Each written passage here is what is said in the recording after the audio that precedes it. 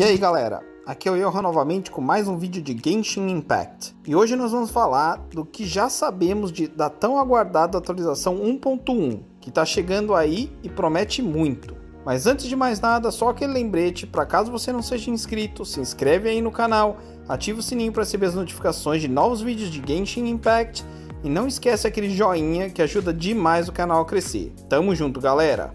Então bora pro vídeo, que tá top, vem comigo.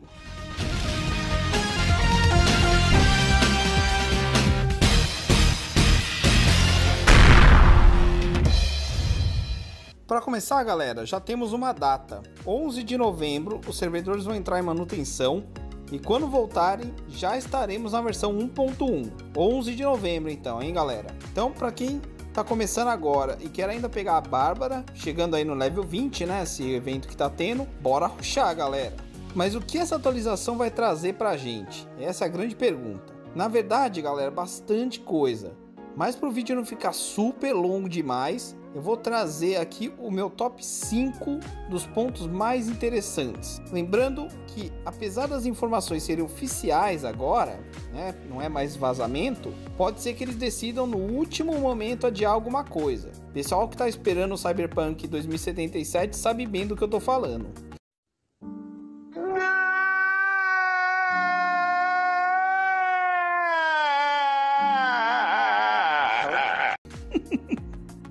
E também preciso dizer, né, que muitas das coisas que chegaram aí com a atualização tinham sido vazadas. E você que saiu do canal viu primeiro aqui. E além disso, gente, eu sei que se você clicou no vídeo, talvez você não ligue, eu acho que você não liga, mas é melhor avisar.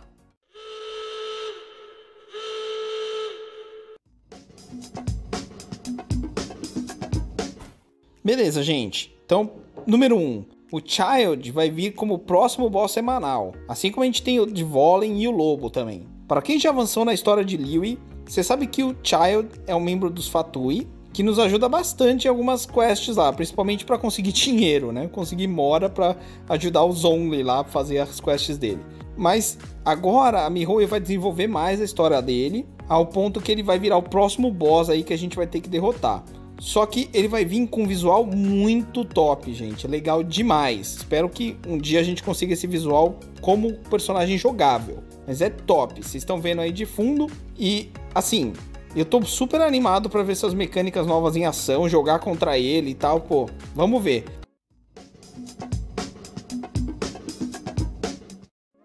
Número 2. Tá chegando um novo sistema que vai ser o sistema de reputação. Cada região vai ter seu próprio level de reputação. Ou seja, você vai ter reputação para Mondstadt e para Liyue. E você pode subir esse nível, né, esse level fazendo missões específicas desse sistema, como cozinhar, caçar e outras coisas aí. À medida que você vai subindo essa reputação, você vai desbloqueando recompensas que vão ser específicas para cada região também. Essas recompensas incluem novas receitas para cozinhar, novos forges de arma e até uma nova skin pro planador, pra asinha. Então vai ser bem legal esse sistema aí. Vamos ver quando chegar, essas quests são bem interessantes também.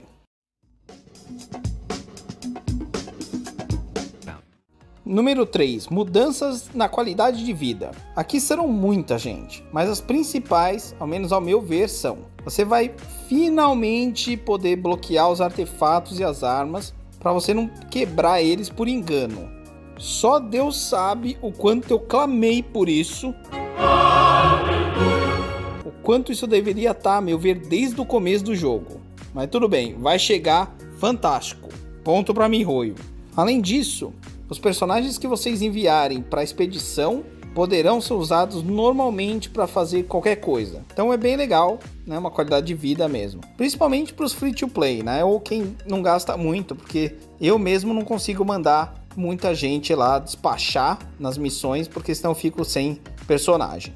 E por último aqui que eu separei é que vai ter uma habilidade para condensar a resina para você usar no futuro. Então, por exemplo, se você sabe que não vai usar num específico dia essa sua resina, o 120 lá, você loga só para condensar ela. Aí você pode usar, por exemplo, no dia seguinte. Além disso, você poderá escolher gastar o dobro de resina pelo dobro de recompensa nos domínios. O que para mim é fantástico, porque vai cortar pela metade o tempo de farming, que às vezes é bem chato de fazer. Ou não é? Vocês concordam? Então acho que vai ser bem legal isso daí.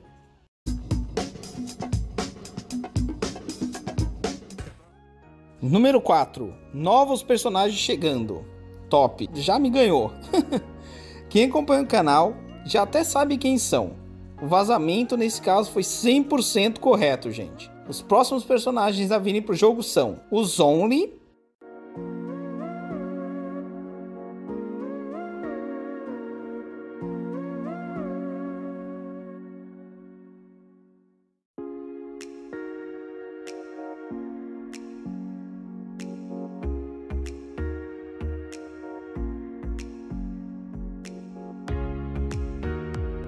o child.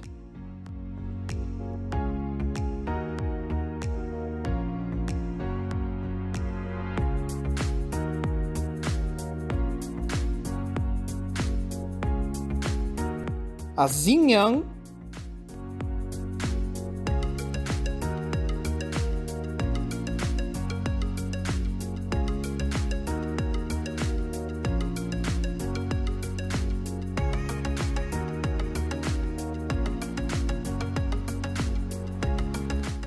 E a Diona.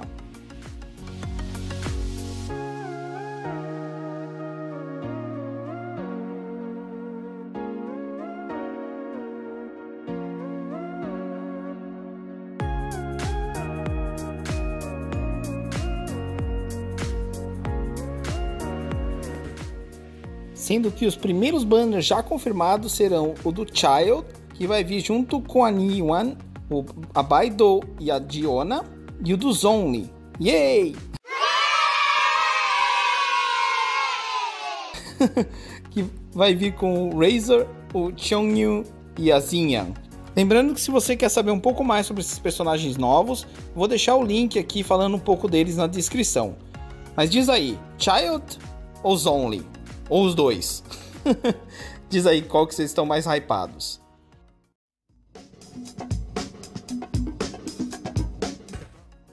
Número 5, gente, é sobre alguns itens e funcionalidades que estão vindo aí. Por exemplo, você vai poder criar um teleporte para onde você quiser do mapa. Que é ótimo, né? Principalmente se você já chegou num lugar que é difícil acesso e você sabe que você vai ter que voltar. Mas não só isso. Isso dá possibilidade aí para algumas missões, provavelmente missões novas que venham aí, que podem ter algumas indas e vindas longas, sabe? Entre as regiões, alguns lugares de difícil acesso, altos, etc. Que hoje eu acho que eles mantêm um pouco menos. Né? Então isso abre a possibilidade, bem legal. Vai facilitar demais de qualquer jeito. A mesma coisa você vai poder fazer que vai ser criar um fogãozinho. Então, mesma coisa para cozinhar. Você vai poder, tipo, ter um cooktop portátil. para você poder cozinhar onde você quiser. Além disso, e pasmem, vocês vão poder estocar vento. E da gente poder estocar. O vento podia ser isso também, mas você não conseguiu ainda tecnologia para estocar vento. Então vamos supor que que vente mais à noite. Como é que eu faria para estocar isso? Quem diria que ela estava certa, hein? Bem, não vai ocorrer no planeta Terra, mas em Teiva você vai poder pegar aqueles insetos voadores luminosos lá, que você pega três e cria uma corrente de ar. Você vai poder estocar eles, assim você tem tipo uma corrente de ar para quando você precisar. Tipo a burst lá do Vente, né? A II do Vente lá. Então você vai poder co colocar esses três num item e usar esse item para criar essa corrente de ar e subir para os lugares. E ainda falando de itens, galera, vai ter uns itens específicos que vai ajudar a gente a localizar ou os anemúculos ou os geóculos que a gente ainda não coletou no mapa. Então, legal, provavelmente a gente já vai ter coletado tudo até lá, mas caso falte um ou outro para a gente fechar lá as, aquelas estátuas dos deuses lá, legal, porque vai ajudar, tá bom? Então vai ter isso também chegando aí. É isso aí, gente. Ainda tem bastante coisa da atualização, como os próximos eventos que já foram confirmados. Por exemplo, tem o evento de voo, o evento de cozinhar, um novo evento top que vai vir também, que dá para pegar a Fischl. Mas esse foi meu top 5. Espero que vocês tenham curtido e estejam hypados para essa atualização, como eu. Deixem aí nos comentários se vocês curtiram essas novidades, qual foi que vocês gostaram mais e se vocês querem a parte 2 desse vídeo falando desses eventos e outras novidades que estão por vir. E eu vou ficando por aqui. Espero que vocês tenham curtido. Um abraço e até a próxima.